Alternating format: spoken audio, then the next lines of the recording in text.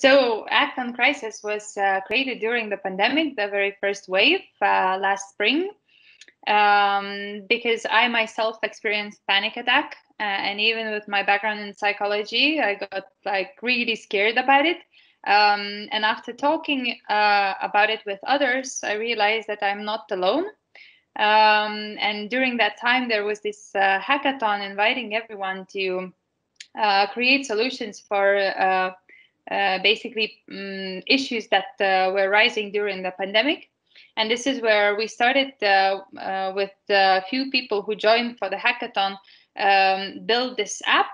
And with this app, uh, employees, because we are working with organizations mainly, employees can train their mind towards balanced self.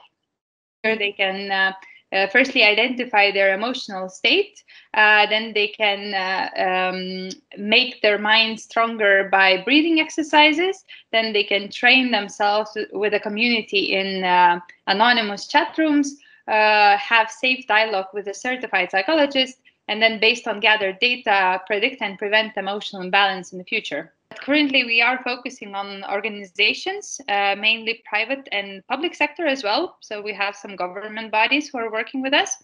And um, with those organizations, we are partnering in a way that we help their employees uh, to train their minds uh, the same way they train their bodies. So our vision is to be this uh, um, mental gym where everyone would train no matter how mentally fit uh, they are. Challenge was that we had no entity whatsoever. We were like out of the blue connected from few countries. It's mainly created by Lithuanians, but we also have amazing volunteers from Mongolia, US, Denmark, Norway.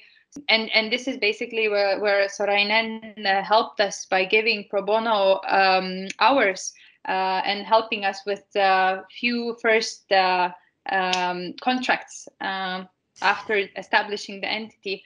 When we talk with the team, and we are currently growing, uh, we plan at least uh, five years ahead uh, where we want to be this uh, multifunctional mental gym for everyone who wish to become mentally fit. So we are inviting everyone to, uh, like interested organizations to um, reach reach us out for any type of uh, collaboration or partnership. We are flexible. Um, and we are also uh, actively fundraising currently so hopefully we will we will uh, soon be able to scale uh, a lot faster in other countries